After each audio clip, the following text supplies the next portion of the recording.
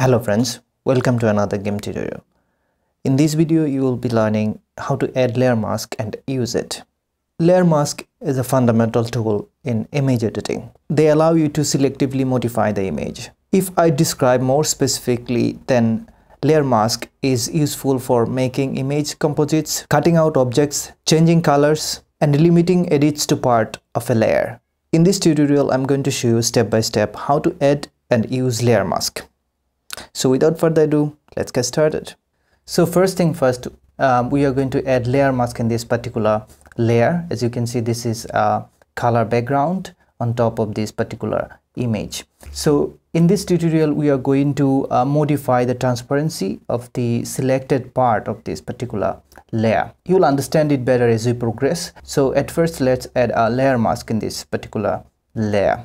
So to do that, you can right click and and then uh, add layer mask from here. You also can add layer mask by going to layer menu here and then uh, mask from there add layer mask. So here we have a few different options. So for this tutorial we are going with white full opacity um, layer mask and then hit add. Right. So now we have got layer mask here.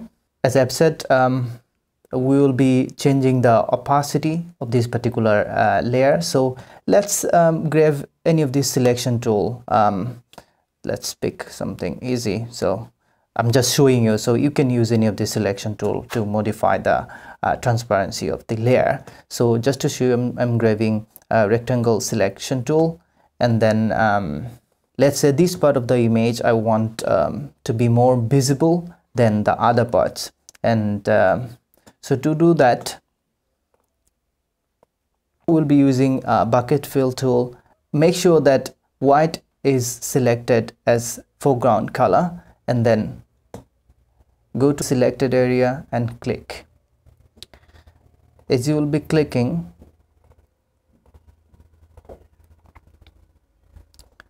it will be more visible because the opacity was a bit uh, decreased in there. Um, so anyways as you can see other part is not visible and this part is visible. So now um, uh, we will invert um, and we'll be working on the other part of this image of this layer. So to do that go to selection select and then invert so now um, make sure that uh, bucket fill tool is selected. So now we'll be clicking here I think that's right. So none. This is it.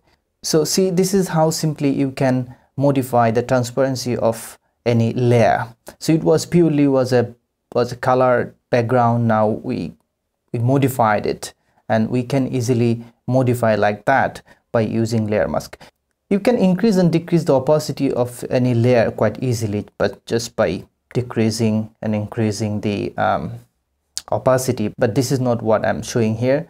So the advantage of layer mask is that it is allowing you to modify the transparency of any image selectively. Anyways um, now we are going to the second image here and I will show you how you can change the color uh, of the image. Let's say in this image I want this cat um, exactly alike I mean color wise and I want the background uh, totally black and white. So to do that let's duplicate this image first. And then now we are going to add a layer mask. Full opacity white full opacity add. So now we will be desaturating this particular layer. To do that go to colors and from there desaturate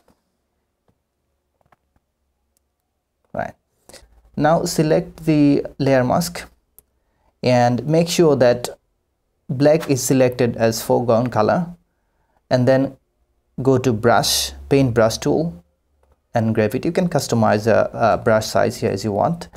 Um, and then paint over anything you want uh, as it was. So let's say as I mentioned before I want this cat uh, as it as it is color wise um, and I want the background totally black and white. So what I will do I will be painting over this cat and it will get its own color.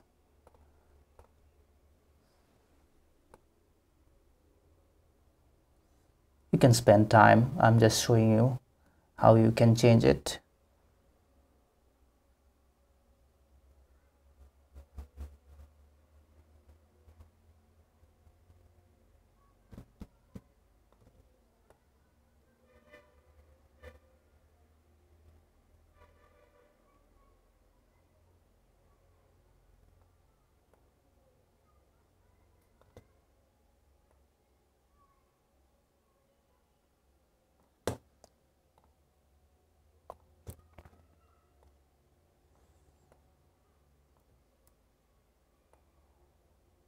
and if you think you have colored uh, some part you didn't want to and then um, simply change the foreground color into white and then uh, paint here.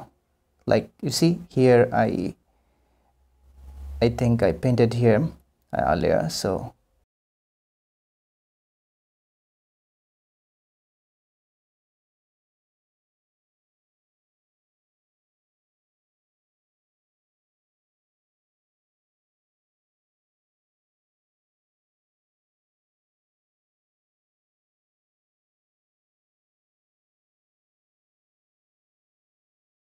So friends, this is how you can simply colorize any selective part of a layer by using masks. I hope this tutorial will help you to learn how to add and use layer mask. Thanks for watching. We'll see you next time. Goodbye.